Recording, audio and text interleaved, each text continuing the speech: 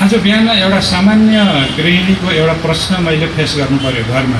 तपाईँको merger merger भन्दै ब्याङ्कको सङ्ख्या घटाउने भन्दै हिँड्नुहुन्थ्यो फेरि आज ब्याङ्कको उद्घाटन छ भन्नुहुन्छ के ब्याङ्क हो यो? थप्न पो खोजे जस्तो छ। अनि मैले भने होइन यो अलिक फरक प्रकृतिको अलिक दीर्घकालीन लगानी गर्छ अलिक ठुल्ठुलो आयोजनामा लगानी गर्छ यसको पुँजी पनि धेरै छ ब्ला ब्ला ब्ला धेरै कुरा भन्नु पर्यो। यति धेरै ब्याङ्क वित्तीय संस्थाको सङ्ख्या मर्जरपछि घट्दा पनि अठाइसवटा बिचको प्रतिस्पर्धा हेर्दा कहिलेकाहीँ मलाई आफैलाई पनि लाग्छ।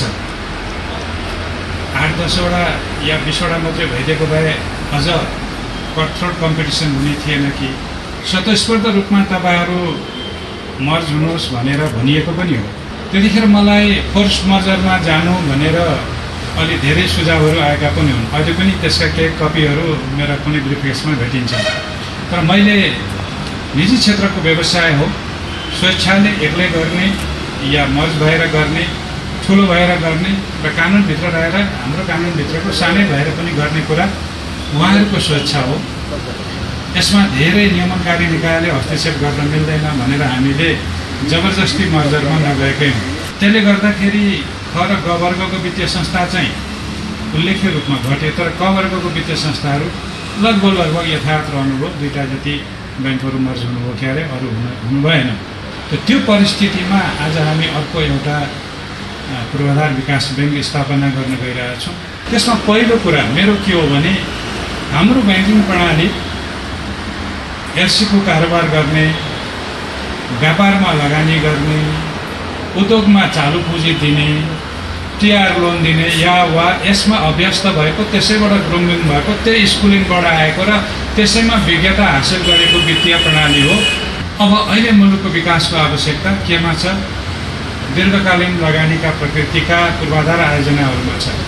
अनि त्यो सबैको नेतृत्व गर्ने संस्था पनि चाहिने अल्पकालीन किसिमको चाहिँ कर्जाको बजारमा प्रतिस्पर्धा अधिक हुने स्थिति भएकोमा यो ब्याङ्कबाट मैले गरेको पहिलो अपेक्षा के हो भने तपाईँले दीर्घकालीन प्रकृतिका यस्ता आयोजनाहरूको विकासमा लिड लिनुहोस् नेतृत्व लिनुहोस् र लिड ब्याङ्क तपाईँहरू हुनुहोस् र तपाईँ सँगसँगै अरू ब्याङ्कहरू आइरहँदाखेरि उहाँहरूको सञ्चालन लागत पनि घट्छ। अहिलेसम्म ब्याङ्कहरूको पुँजी बढेको छ राम्रो भएको छ। झन्डै झन्डै सात सय अर्ब अथवा सात खर्ब तपाईँहरूको चाहिँ त्यस्तो पुँजी भइसक्यो। म पुँजी मात्रै हो चुक्ता पुँजीको कुरा गरिरहेको छैन। तपाईँहरूले राखेका झगडा कोषहरू र तपाईँले राखेका ऋण बापतका प्रोभिजन बापतका रकम समेत जोड्दाखेरि तपाईँको एकुमुलेटेड रिजर्भ्स र क्यापिटल चाहिँ छ गुणाले बढिसकेको छ दस वर्षमा। कुनै अर्को कुनै प्रणाली होला जसले एक दुईवटा दूरसञ्चार कम्पनी बाहेक जसले आफ्नो पुँजी दस वर्षमा छ गुणा बढाएका हुन्? ब्याङ्किङ प्रणाली एकहोरो एसेट एकोमोडेसन गरेर त्यो लाइबिलिटी सात खर्बको लाइबिलिटीले त काउन्टर पार्टमा त एसेट पनि एकुमुलेट गरेको छ नि त। त्यति एकुमुलेट गरेको एसेटलाई धान्न सक्ने रियल सेक्टर हुनुपर्छ कि पर्दैन? तपाईँहरूको लगानी र पूर्वाधार विकास ब्याङ्कको लगानी कम्प्लिमेन्ट्री हुन्छ त्यो त्यो अर्थमा र तपाईँहरूले अल्पकालीन चालु पुँजी अल्पकालीन प्रकृतिका अरू पुँजीहरू राखिरहँदा पूर्वाधार विकास ब्याङ्कले दीर्घकालीन प्रकृतिका पुँजीहरू राख्यो भने अनि तपाईँहरूको सम्पूर्ण एसेट्सहरू पनि र लाइबिलिटिजहरू पनि म्याचिङ हुन्छ। र तपाईँहरूले नयाँ सोर्स नयाँ अवसर खोज्नै पर्ने हुन्छ। बचत परिचालन गर्दा दीर्घकालीन प्रकृतिको गर्नुपर्दछ। ताकि लगानीकर्ताको आवश्यकता र निक्षेप राख्नेहरूको उपकरणको आवश्यकता पनि म्याच होस्। अल्पकालीन बजारमा ब्याङ्कहरूसँग प्रतिस्पर्धा गर्नुभयो भने त्यो चाहिँ जिरो सम गेम हुन्छ। त्यसले केही पनि अर्थ राख्दैन। तपाईँले अन्तर्राष्ट्रिय बजारबाट पुँजी परिचालन गर्ने कुरा गरिँदाखेरि दुईवटा कुरा गर्छु।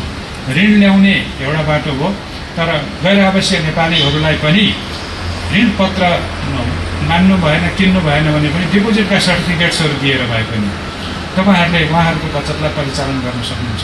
त्यसपछि अहिले एनआरएनकै साथीहरूलाई मैले अस्ति एक दुईवटा कार्यक्रममा सम्बोधन गरिरहँदाखेरि इन्भेस्टमेन्ट फन्डहरू इन्भेस्टमेन्ट कम्पनीहरू आउनलाई पनि हामीले प्रोत्साहन दिइरहेछौँ।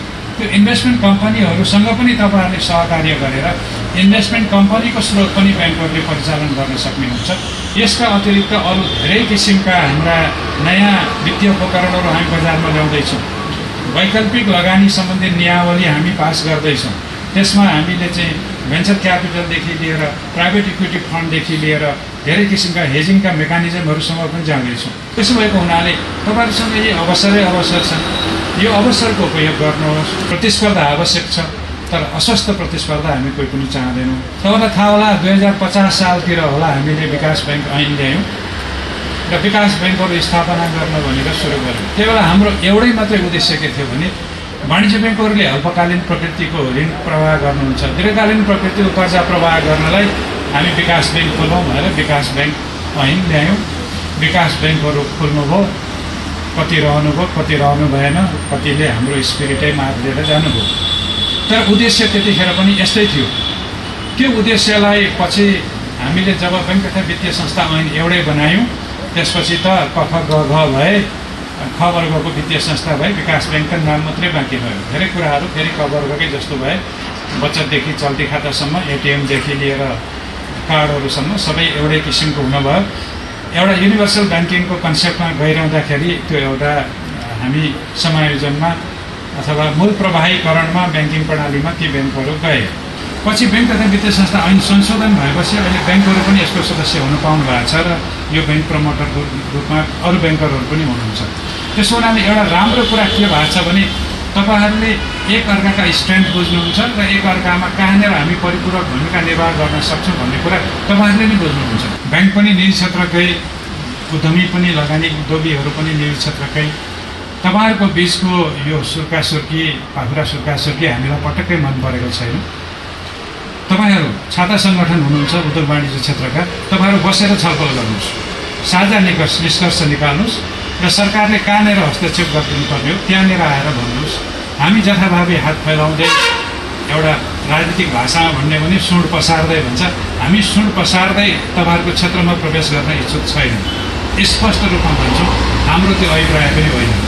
तर तपाईँहरू झगडा गर्नुभयो भने झगडा मिलाउन चाहिँ फेरि हामी तयार हुनुपर्छ त्यो झगडा नगर्नुहोस् अतिवादमा दुइटै नजाउँ मैले हिजो पनि एउटा अङ्क भने छ र सोह्रको एक्सट्रिममा हामी जानु हुँदैन त्यसको बिचमा हामीले सोल्युसन खोज्नु पर्दछ त्यो सोल्युसन कति आउँछ अर्थ अङ्कगणित हिसाब गर्नेलाई औसतमा थाहा भइहाल्छ त्यो औसतमा बस्ने गरी हामीले काम गरौँ लगानी दीर्घकालीन लगानीको लागि अवसर पनि जुड्छ। लगानीका लागि सम्भाव्य परियोजनाहरू त्यसमा सम्भाव्य पनि हुन्छन् र त्यसरी लिएको ऋण तिर्न सक्ने क्षमता पनि विकास हुन्छ र ब्याङ्क पनि विकास हुन्छ। त्यसो भएको हुनाले यो ब्याज दरमा अस्वाभाविक प्रतिस्पर्धा गर्ने कुरा हामी गर्न गरौँ।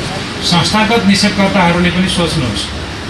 तपाईँहरू अत्यन्त धेरै मौसमी लाभ लिनेतर्फ नकुद्नुहोस् भनेर मैले भनिसकेका छु।